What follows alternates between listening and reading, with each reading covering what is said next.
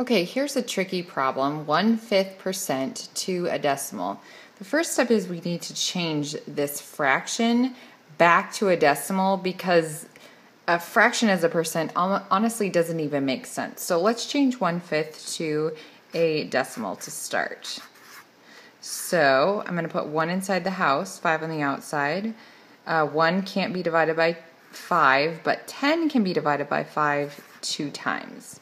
So what that means is, and 2 times 5 is 10, I subtract, I get 0. So that means that 0.2% needs to be turned into a decimal. Now you might be thinking, yeah, but it is a decimal. No, it's actually not because of the percent. So in order to change a um, number, or a percent, excuse me, to a decimal, that means we're going to be dividing by 100. So in other words, if, let's take an easier one, if I was saying 15% um, to a decimal,